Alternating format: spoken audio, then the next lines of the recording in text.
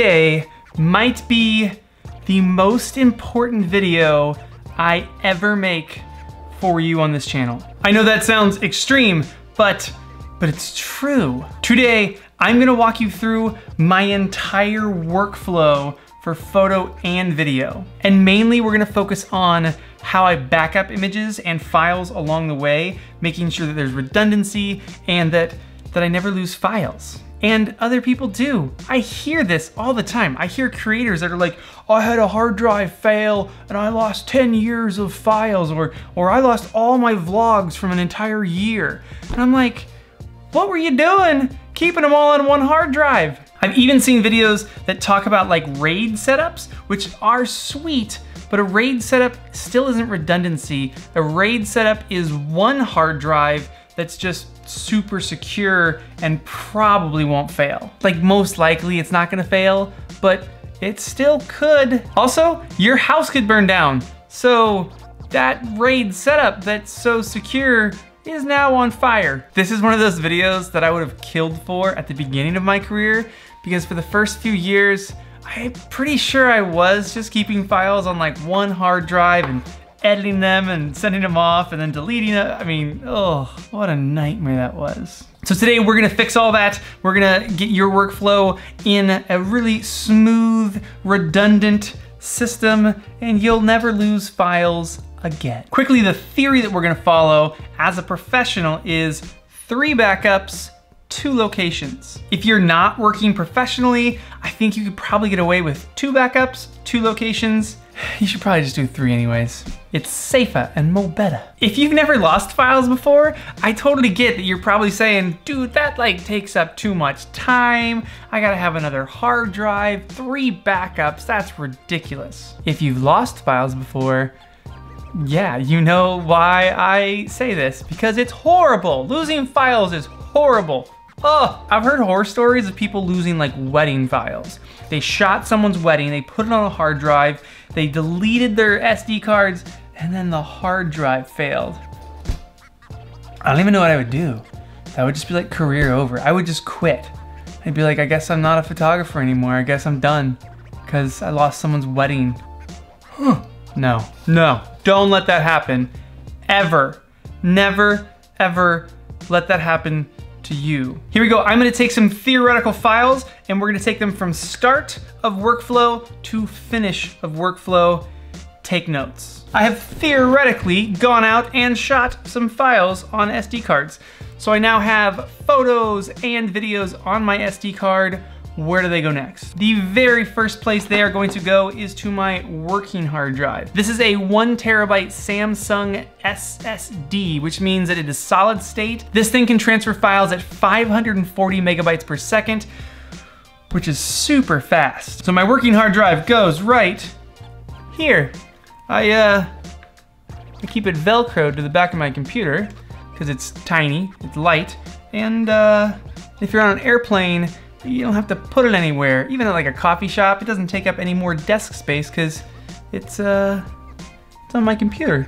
All right, diving into the computer, we're gonna go in here and open up this working hard drive and you'll see that I have two template folders already on there for shoots and one for vlogs. We'll go over the vlog template because the vlog template has both photo and video and uh, yeah, it's just more complete. So within this vlog template, there is a Lightroom catalog already set up exactly how I like it, and a Premiere Pro project file set up exactly how I like it. The sequence settings are already there, the folder system is already there. It's, it's ready to go for me. And then under that, you'll see I have a folder for my video files and each camera that I shoot with. So my a7R II, GoPro, iPhone, Mavic, RX100 Mark VI, and if I have any other cameras that I end up shooting with that day, like the Insta360, I'll just uh, create another folder right there. With this folder template set up exactly how I like it, all I have to do is go in there and select it, Command C to copy, I click on my working folder, Command paste,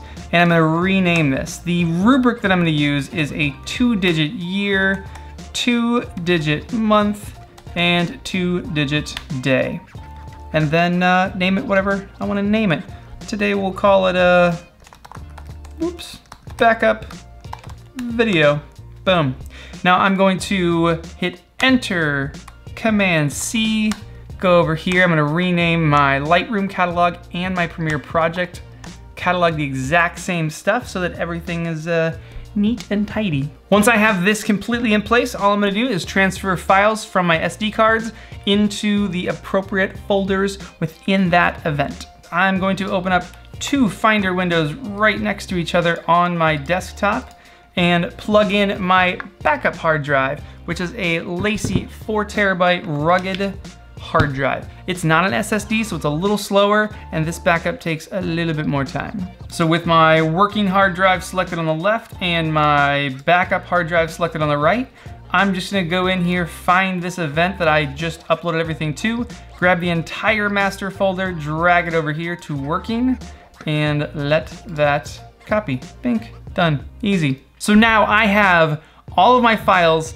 on my SD card, they are on my working hard drive and now they're on my backup hard drive as well. And once that's done, I'm going to eject my backup hard drive.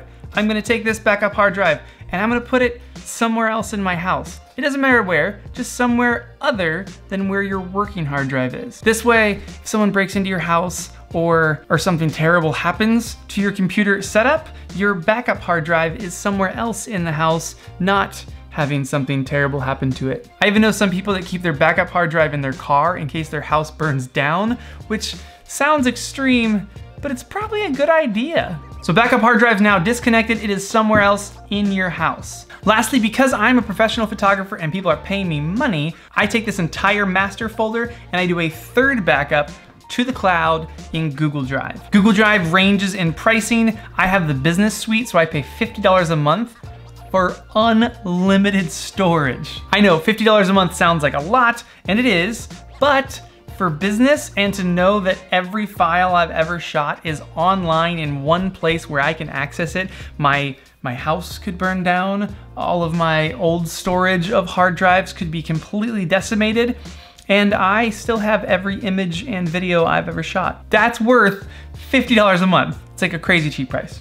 If you're not doing this professionally, I think you should still probably get like a one terabyte or a two terabyte backup in the cloud somewhere on Amazon Drive or Google Drive or, or Dropbox. Is Dropbox still around? And just back up your current files. So if you've gone out and you've shot 100 gigabytes, just back up 100 gigabytes on there work the project, do all the edits, and then delete it from there so that you have space to do it again with your next project. And as a side note to this three backup system, if we're out traveling, I have two backup hard drives with us so that the files go to the working drive, two backup hard drives. I put one of these in my bag, I put one of them in Morgan's bag, and and that's as good as it gets. Usually while we're traveling, the Wi-Fi is garbage. So to uh, back up like hundreds of gigabytes of information to the cloud, uh, it's just not gonna happen. But that maintains the three backups, two locations theory. Do not format your SD cards before this is all done. Three backups, two locations, then you can format your SD cards. Even then, I usually don't format my SD cards uh, unless I really, really have to until after I've delivered images to a client. That's just me being really cautious. The next step in the workflow is editing, and that's obviously a little different for photo and video, but basically all the work is being done on my working hard drive. So I'm actually working from this hard drive, having it plugged in. The raw photo files are gonna go through Lightroom and then Photoshop, and then be exported as JPEGs back into this master folder system. The video files are gonna go through Premiere and maybe After Effects, be exported as an MP4, back into this original file system. So both photo and video go off into their respective programs, but then all come back into this final master file folder. Once they are exported, those JPEGs get uploaded to my client galleries. They also get uploaded to my Google Drive as a backup. The video files usually go to YouTube and then also go to Google Drive as a backup. At this point, I am done with those folders. They've been delivered to my clients. They are backed up into Google Drive. I then take the master folder with everything in them and I upload them to one of these honkers. These are uh, an eight terabyte Seagate hard drive that I get at Costco for like a hundred bucks. And uh, you can see, uh, you kind of can't see. Ah, there's like a bunch of them back there. Basically, that is long-term storage. So I'm gonna take the main folder from here and I'm gonna transfer it to a long-term storage. So that's totally backed up. And then I can delete this folder from my master and I can delete it from my backup. Purely for storage, I don't really access those hard drives. So now we move on to post-delivery. I have uploaded my vlog to YouTube. I have delivered my images to the client. I have deleted everything off of these two hard drives. My original raw files and footage live on a long-term storage hard drive here, and they live on my Google Drive online, backed up forever. I hope this video was helpful for you guys. If you picked up anything from today, hit the like button for me, hit subscribe, ring the bell. I'm gonna make more videos about video and photo and getting into it, color grading, all the things that you've asked. I'm gonna make videos about it. But today, this video, it's the most important. I hope you do it. I hope, I hope none of you are keeping all of your photos or video on one hard drive or one computer. Oh, I see that all the time. People just keep all their files on one computer and then the computer dies and they go, I lost everything. Back up your files. Do it. Back them up. I'll be mad at you. Go back up your folders. All of them.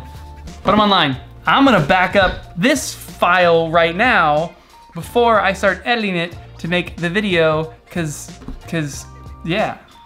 I'm gonna follow my own advice. How about that? How crazy is it that creators walk around with all their footage on one hard drive, yet their cell phone is backing up all their photos automatically to the cloud, as if their footage is less important than a photo of their avocado toast?